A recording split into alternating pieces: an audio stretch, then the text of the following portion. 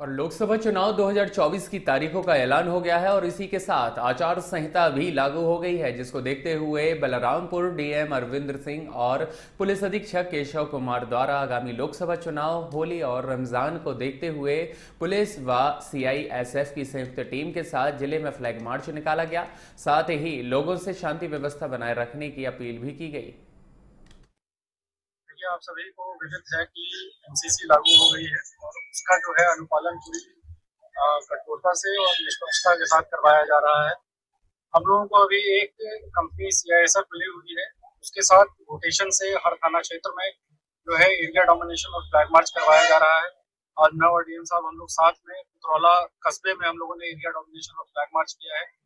इसके अलावा भी सभी थाना क्षेत्रों में एस एच पुलिस लाइन की रिज़र्व फोर्स के साथ लगातार पेट्रोलिंग और एरिया डोमिनेशन चल रहा है। क्लियर मैसेज है पुलिस और प्रशासन की तरफ़ से कि कोई भी अराजक तत्व जो है, यदि वो सोचेगा भी कि किसी भी तरीके से कोई भी विघ्न डालने का यदि मन में जरा सा भी विचार आता है तो उसके विरुद्ध जो है, उसके हिसाब से कठोरता के साथ उससे निपटा जाएगा और कठोर दंडात्मक कार्रवाई की जाएगी।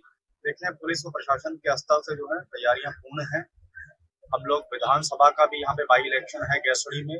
लोकसभा का भी इलेक्शन है, मेला भी होना है और विभिन्न पर्व भी इस चीज़ को लेकर के पूरी तरीके से मुस्तैदी से हैं और एमसीसी जैसे ही लगा हुआ है, आप सभी को ज्ञात है बहुत स्ट्राइकिंग फोर्स के साथ इसका अनुपालन कराया जा रहा है और इसी चीज़ की जो है रैंडम रूप से मॉनिटरिंग करने के लिए और एरिया डोमिनेशन के लिए यहाँ पे जो है कप्तान साहब के साथ मैं यहाँ पे हूँ।